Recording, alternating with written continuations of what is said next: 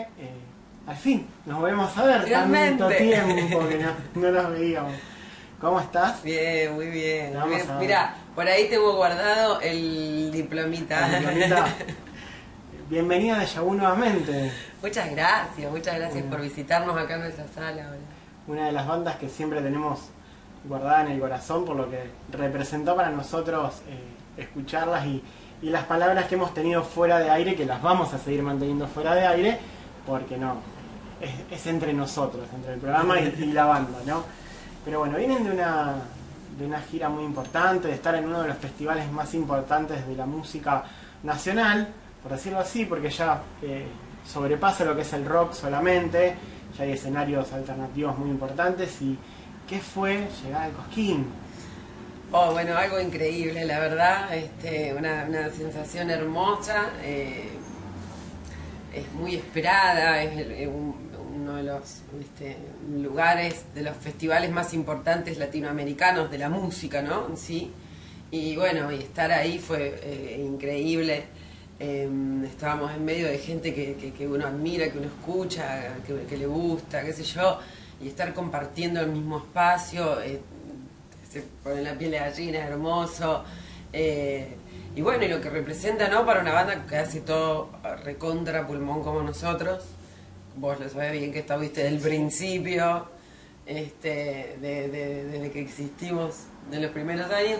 Eh, así que bueno, con mucho sacrificio, este, que, que de alguna manera nuestra propuesta musi- musical haya llegado a, esos a esas instancias este, bueno, representa algo muy muy grato para nosotros, ¿no? De tanto laburo como que un, un, un pequeño fruto, por decirlo de alguna manera. ¿Se durmió la noche anterior al, al día de tocar? Sí, sí. sí. No, no, chicos, estábamos todos en la casa de la, de la mamá de Carlos, que, que allá en Villa, Villa le digo. Y, y sí, sí, sí, este, se quedaron ahí un par guitarreando, pero la mayoría nos fuimos a mí para cuidarnos y todo eso. Y, y ese día, ese día después este, festejamos mucho el, el, el cosquín, se vivió lindo. No, está bueno, está bueno que la banda vaya. Y hubo muchos cambios de formación dentro de la banda, porque empezaron de una forma, siguieron de otra y hoy, ¿con qué formación se encuentra Ay, Mamita Peyote? Sí, tal cual. Empezamos bueno con, con un grupo, lo que era un grupo de amigos, digamos, que, que teníamos ganas de formar ese proyecto. Y después, bueno, las mismas, mm, eh, lo que sucede en cualquier otro grupo de trabajo, o muchas veces también familiar, ¿viste? Cuando no se van compartiendo las mismas perspectivas y no se van compartiendo los mismos criterios, como, qué sé yo, mínimo venir a ensayar, eh, te- eh, se, hace, se hace difícil. Así que hubo, hubo como, como, un, un renuevo de energías y está Sebas eh, Cudos, ya hace dos años igual que están todos. Sebas Cudos en la batería, Carlitos Cubero en el bajo, Ale Machuca en el saxo, Javi Díaz, que sí, que estuvo, siempre en la trompeta, Javier Díaz, Pato Massini en el teclado, Carlos, en Charlie Bertolín y yo. De Charlie, que es el director musical. Y bueno, y laburamos ahora con los chicos sesionistas, entonces es como mucho más, nos organizamos mejor, digamos. Este, cuando una vez que ya, ya entendimos de alguna manera o, nos dimos cuenta que, que por este rumbo queríamos ir, ¿no? De tomarnos la música en serio, de crecer, de, de- que esto sea realmente un- una, una responsabilidad, ¿no? No una obligación, sino sí una responsabilidad. Venir todos a los ensayos a ensayar, bueno, a ver, vamos a salir todos a panfletear, bueno, por favor, salgamos todos a pegar afiches, bueno, por favor, todos tengamos actividad en las redes sociales, vayamos a las clases que tengamos cada uno, bueno, vos guitarra, vos anda, crezcamos, eh, que, de- no sé si, está bien dicho así, pero este, cuando, cuando viste ya nos dimos cuenta de todo eso, cómo funcionaba, este, eh, ahí bueno, nos organizamos un poco más y, bueno, ya con, con- con este criterio y con esta formación ya hace dos años que estamos y está, eh, nada, lo disfrutamos muchísimo, disfrutamos tocar con los chicos muchísimo, son todos unos cracks en sus instrumentos, este, y bueno, nada, los viajes también los disfrutamos mucho, los ensayos, es como que, viste, cuando tenés toda la misma perspectiva es como que las Más cosas fácil. fluyen. Estaba mucho más fácil. Dos álbumes ya la banda. Sí, Dos, sí. dos niños, podemos decir.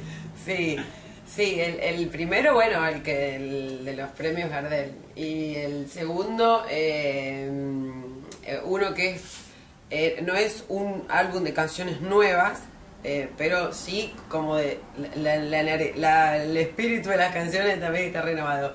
Eh, nos invitaron a hacer un acústico, eh, entonces como íbamos con un formato distinto, o sea, la misma persona, pero mm, la batería no tan con tan fuerte, sino como más pocket o, como más cálida, eh, guitarras distintas, distintos vientos, entonces este mm, este, más viste tirando al lado de lo, de lo acústico, de lo, lo percusión y demás, este, em, dijimos, bueno, vamos a jugar, teníamos el tiempo también para hacerlo, vamos a jugar y, y armemos bien las versiones, eh, busquemos otras versiones, reinventemos nuestras propias canciones y bueno, y eso mm, sucedió, que estábamos acá entre vinitos, este, armando nuestras propias canciones, nuestras rearmando nuestras propias canciones, reinventándolas. Y bueno, y al final después nos gustó tanto que dijimos, ya fue esto, lo tenemos que grabar. Y así surgió la idea de grabarlo en vivo ese día, en ese show que tuvo lugar en Distrito 7. Y bueno, lo grabamos en vivo y editamos un, un disco con 13 canciones que tienen algunas canciones del primer disco más dos perlitas que son dos versiones de canciones, una de Sting y otra de Bob Marley.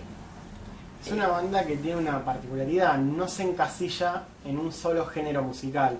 Eso quizás también permite un poco el tema de la reversión sobre la versión que ya vienen haciendo. Totalmente, muy buena lectura, claro, sí, sí, sí, sí, sí, sí, sí. Lo que sí no cambió fue la voz. Eso es imposible cambiarlo. Eso no es un sello, es un sello ya que tienen, ¿no? sí, sí, qué sé yo. Vos me veníamos hablando la- ahora que, que te gritan cosas de abajo. En cualquier momento tenés un fan club, viste, gritándote y tirándote cosas de abajo. Bueno, esperemos que cosas lindas. Cosas que- sí, sí, esperemos que sí. ¿Se viene la primera fecha de la banda en Rosario? Sí, este 15 de abril en el Galpón de la Música. Eh, bueno, fecha vamos a estrenar tema. Viste que en estas últimas fechas venimos estrenando uno, otro, otro. Y bueno, esta fecha vamos este, a hacer todos los que venimos estrenando, más uno nuevo que nunca hicimos. Y vamos a mostrar un videíto, a compartir, este, también estrenar un videíto de todo lo que fue Cosquín, con unas con perlitas y cosas así del viaje. Y hay otra sorpresita ahí que no puedo contar. No vamos a adelantarnos. No, no podemos. No, si no deja de ser sorpresa. Deja esa sorpresa. Así que bueno, preguntarte si se viene un nuevo disco, si se viene algún DVD de la banda. DVD todavía no estamos pensando porque estamos como la prioridad en poder grabar el segundo, que ya estamos en etapa de preproducción, estamos armando y haciendo esto de descubrir eh, la esencia de cada canción, tocando, retocándola, grabando los ensayos, después mandamos los, los- las canciones este, para que en la semana todos los integrantes la escuchen y, y la vayan también craneando y sintiendo y, y empezando a, A palparlas. Ah, claro.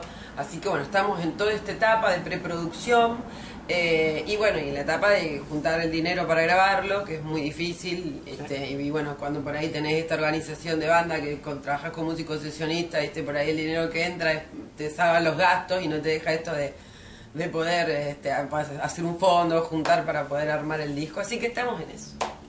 Bien. Te invito a que invites al público a, a que nos vayan a ver este, Este sábado. este- Bueno, para todo el público de Deja Vu, están todos invitados a la primer fecha del año de Mamita Peyote, este sábado 15 de abril, en el Galpón de la Música, a partir de las 21.30 horas, van a estar abriendo nuestros amigos de los Coibas desde Santa Fe, y bueno, con muchas cosas muy hermosas como sucede siempre, así que los esperamos, ojalá ahí nos veamos amigos, gracias. Eugen, muchísimas gracias. A vos, Nico, muchas gracias.